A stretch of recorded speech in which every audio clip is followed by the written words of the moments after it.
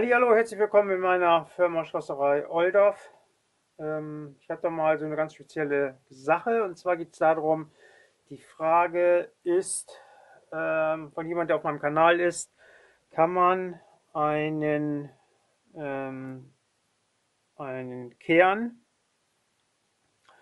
von einem Abus-Zylinder oder überhaupt von einem Zylinder äh, umbauen oder so machen, dass er in so einem Rundzylinder reingeht? Das ist die Frage.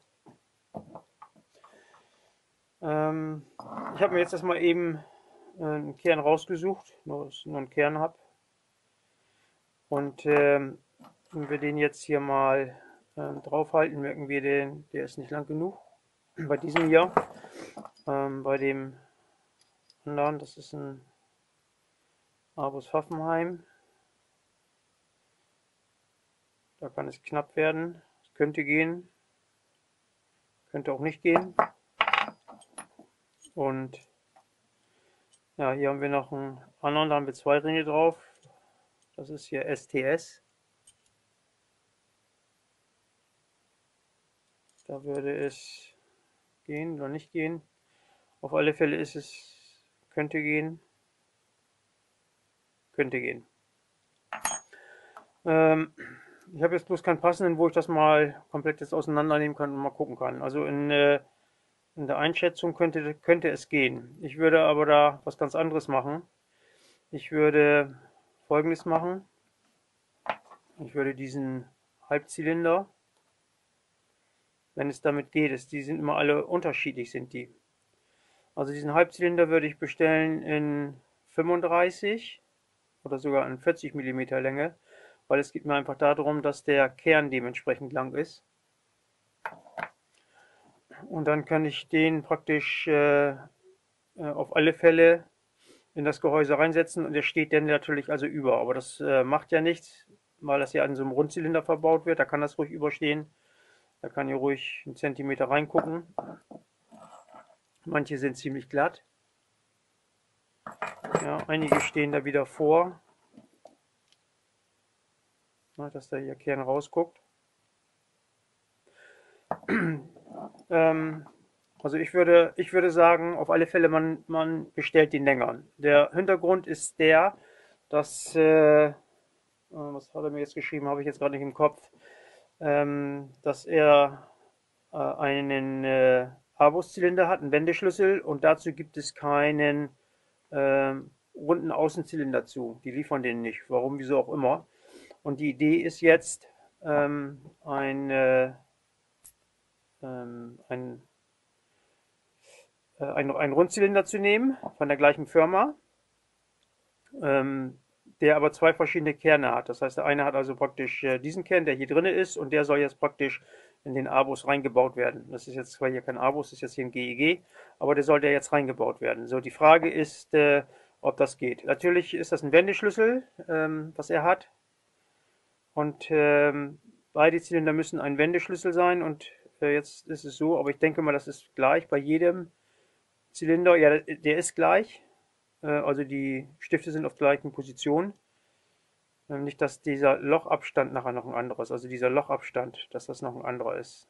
Zum Beispiel verschoben ist. Aber ich denke mal, die haben das alles gleich gemacht. Weil das wäre sonst zu aufwendig alles. Und die haben nur eine einzige Kernsorte. Es gibt nur eine Kernsorte, das ist der Kern hier. Der Zylinderkern. Und ähm, dieses Profil, diese Walze, die hier drin ist, auch immer gleich, hat immer den gleichen Durchmesser. Nur das Profil, was hier drin ist, was man hier sehen kann, das ist ein anderes. Aber die Stifte, die hier sind, sind alle immer äh, auf der gleichen Position.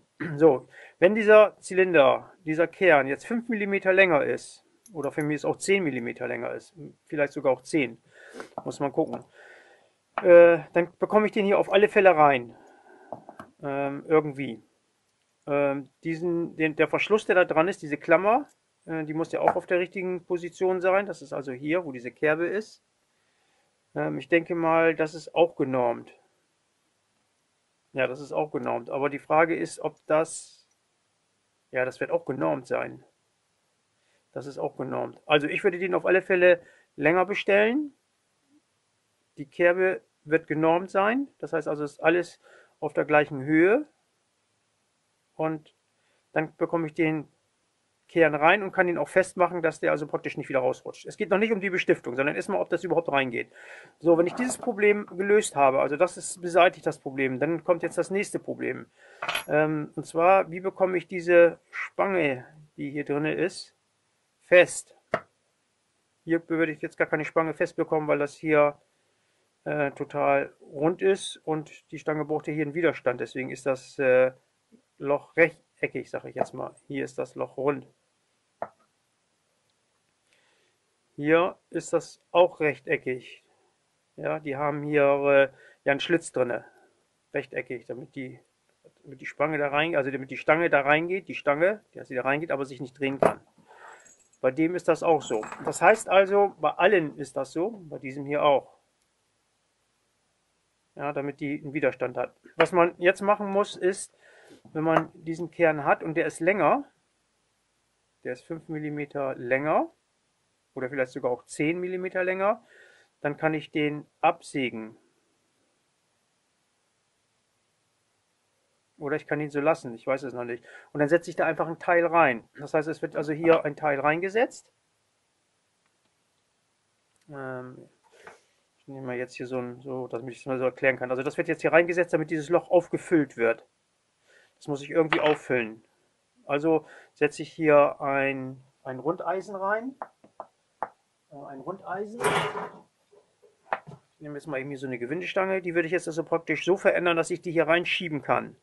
Dann habe ich die hier drin und dann würde ein, ein Dorn hier reinkommen, ein Splint. Ein Splint. Wo war das? Hatte ich hier eben einen Splint gesehen. Da. Und hier ist ein Splint drin. Da kann man das sehen. Da ist ein Splint drin. Und, dieser, und, und diesen Splint müsste ich dann da auch durchtreiben, also auch einen Splint setzen, dass ich praktisch eine Stange da rein bekomme. Äh, was für eine Form die Stange hat, ist nachher egal. Ich kann da ja nachher ein Flacheisen nehmen. Ich sag mal sowas hier. So ein Flacheisen ist jetzt zu dick. Und das könnte ich jetzt praktisch da reinschieben und ne, das hat dann hier auch die ungefähr die Breite. Äh, das wird dann hier nachher dünner gemacht und schmaler, weil das hat ja hier nur 2 mm und das hat hier 2,5 da kann man sehen, das wird dann schmaler gemacht und dann habe ich die Stange da drin. Also die Frage ist, mal wieder wegstellen. Die Frage ist, bekommt man einen Schließkern, einen Schließkern, von mir aus von einem Halbzylinder.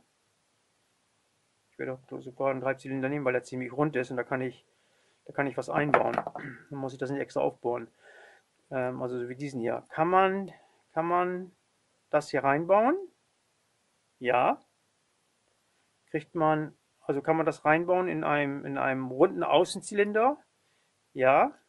Kriege ich rein. Und kann ich dann auch eine Stange daran befestigen? Ja. Wenn ich hier jetzt noch ein Teil reinbaue, das mit einem Splint versehe, dann ist das Ding fest und dann wird da einfach eine Kerbe rein gemacht, dass ich die Stange befestigen kann und dann funktioniert das Ganze auch. So, das war die Frage, ob das funktioniert. Und deswegen ähm, bin ich jetzt mal eben runter in meine Werkstatt und mir mal eben verschiedene Sachen raus, rausgesucht und es äh, funktioniert. Ähm, ja, hier hat man eine Platte draufgebaut, das würde auch dann gehen. So eine Schließnase, das bringt mich gerade auf eine ganz andere Idee.